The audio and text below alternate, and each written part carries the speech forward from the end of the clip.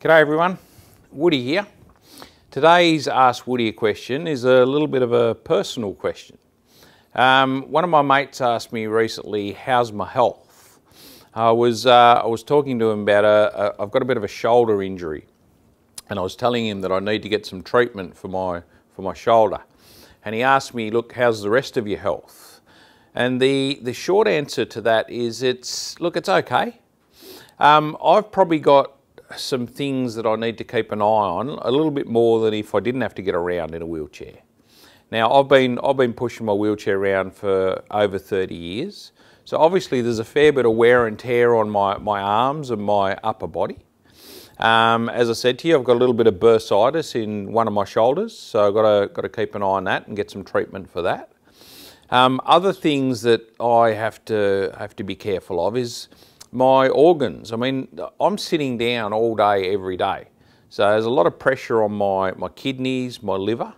Um, I just have to be careful, you know, and conscious that there is a little bit more pressure on them. Um, when I go to the bathroom, I don't fully empty my bladder.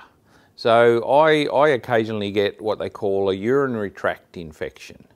Now, I don't know if any of you have ever had a, a urinary tract infection or a UTI it knocks the absolute crap out of me. It, it, it gives, I've got no energy, uh, I feel horrible, uh, nausea, and, and just, oh look, it's, it's one of the worst feelings you can ever imagine.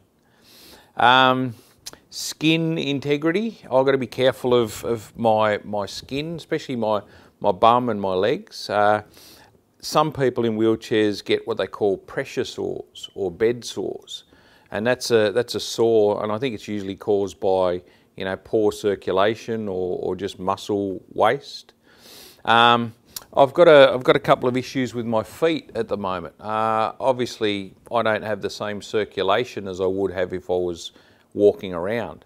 So I've got a couple of toes that have got um, you know just just little little sores where I've I've bashed against a chair or a table without a pair of shoes on and you know they don't heal as quickly as, as they would if, if I was walking around or if I had good circulation. So yeah, there's a there's a lot of uh, a lot of things I've just got to be really conscious of and, and careful with.